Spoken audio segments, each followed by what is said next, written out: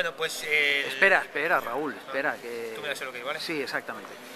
Jimmy, tú mandas. Venga, eh, acabo de pillar aquí a Raúl minutos antes de empezar el evento y como tengo siempre, me llaman Jimmy el Rápido con la cama preparada, la cámara. A ver Raúl, ¿de qué vas a hablar? Explícanos de qué va el tema hoy de, de la ponencia. Bueno, nosotros venimos, como siempre, a, a evangelizar. Y venimos a hablar de un tema bastante nuevo que para nosotros es, es un concepto nuevo, que es lo que nosotros llamamos los viajes sociales. Y todo esto viene, ¿sabes? Si hacemos un resumen rápido de lo que es la historia de Internet, viene de, bueno, el nacimiento de Internet yo creo que produjo un, un tema muy bueno y es que revolucionó la búsqueda de información. La búsqueda de información sobre viajes o sobre destinos turísticos.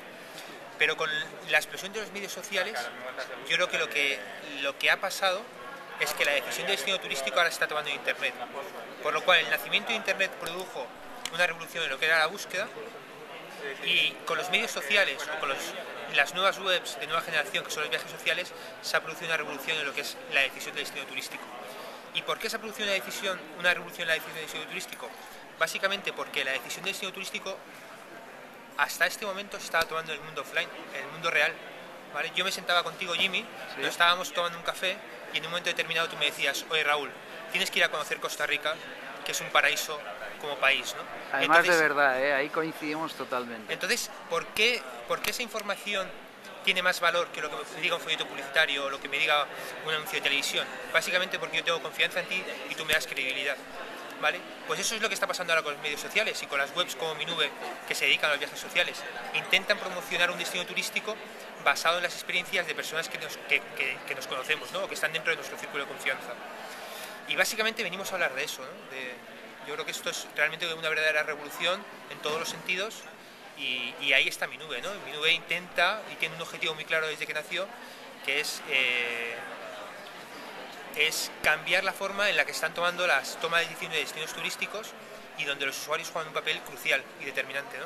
para esa toma de decisiones. Oye, ¿y cómo nace esto de mi nube? Bueno, Minube es una startup nacida hace un año y medio, en el año 90 y, o sea, 2007, noviembre del 2007, y nace eh, pues, un proyecto de garaje. Tradicionalmente, pues nos juntamos dos personas, yo soy el socio fundador, empiezo a llamar a mi familia, a mi primo, a amigos, compañeros, empezamos a hacer contratación de personal y, y teníamos una idea muy clara que lo que hicimos fue estudiar el proceso del viaje. Lo que nos dimos cuenta es que el sector era muy transaccional. ¿Sabes? Solo había webs de éxito que se dedicaran a la venta de billetes de avión o a la reserva de hoteles. Pero el proceso del viaje era mucho más completo. De hecho, ya se estaba hablando de conceptos como el nuevo viajero del siglo XXI, donde la gente compartía contenidos, compartía vídeos, subía fotos, y, donde había, antes de realizar el viaje o de la compra de un billete de avión, había un proceso inspiracional de un destino turístico, había una planificación de un viaje que se basaba en recomendaciones de otros usuarios, o sea, había un proceso del viaje que era mucho más completo que el meramente transaccional. Y entonces ahí es un poco cu- cuando eh, eh, decidimos lanzar mi nube. Después de un año y medio, la verdad es que los hitos son importantes. Estamos casi en 700.000 usuarios únicos al mes, con más de 3 millones de páginas vistas. Y, y bueno, intentando ir paso a paso como una hormiga, pero con buen rumbo, ¿no? Y oye, y las primeras veces que hablabais con, con el sector, con los hoteles, con los otros, las otras partes del sector, y les explicabais vuestro proyecto, ¿cuál era la reacción? Me imagino que debía ser como estos, estos chavalines. Sí, sí, ¿Qué- sí, sí, qué? sí. Pero eh, eh, esto lo hablábamos tú y yo, Jimmy, esta mañana, ¿no? Si en el año 98 nos fijábamos, las personas que hoy están liderando las principales empresas de viajes por internet en España, es decir, las personas que lideran eDreams o que lidera un atrápalo.com, esos, esos fundadores eran personas que no venían de- del sector viajes, eran personas que venían de internet. Y, y yo creo que después de 10 años, ¿sabes? Han aprendido mucho del sector y se han conseguido ser expertos, ¿no? En nuestro caso pasa algo parecido, ¿no? Éramos jóvenes, emprendedores, con mucha pasión por lo que hacíamos, pero sin conocimiento de- del sector viajes. Pero aún así en dos años hemos aprendido y sobre todo yo creo que somos eh, personas como muy abiertas y sobre todo que intentamos aprender de todo y de voces expertas como, como vosotros, ¿no? Oye, y, pero lo que sí entiendo es que sois apasionados viajeros, ¿no? Sí, sí, sí. O sea, Yo creo que eso es, es Hay, hay una clave Es ahí. crucial Eso es ahí. crucial. ¿Sabes? Para entender también y para revolucionar un sector, cuando tu objetivo es ese, tienes que ser viajero, está claro.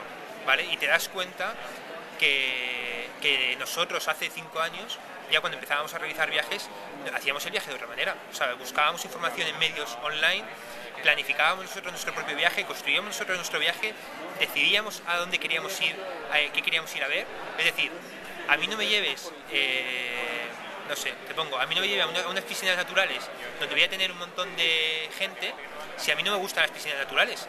Llévame a una playa que para mí es el paraíso. Por lo cual, yo nos dábamos cuenta, o sea, los nuevos viajeros nos estamos dando cuenta de eso, ¿no? De que construimos nuestro viaje a nuestra propia medida. Pues nada, eh, gracias Raúl por, eh, por, la entrevista, gracias por intentarlo ahí, porque estáis haciendo un gran trabajo y sois un referente.